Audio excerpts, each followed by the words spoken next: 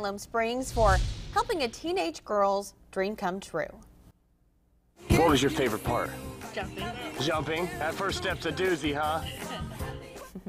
That was Brianna Dobson. Her mom says the 12-year-old has scoliosis and will have to undergo a major surgery to correct the curve in her spine. The girl has always wanted to skydive, something she'll not be able to do after the surgery, and you have to be 18. But you can see there she is. The guys at the Sky Ranch helped give her a special waiver, got her in the plane, and gave her the thrill of a lifetime. Good for her. Garrett is back. He is live from Stuff the Bus after this.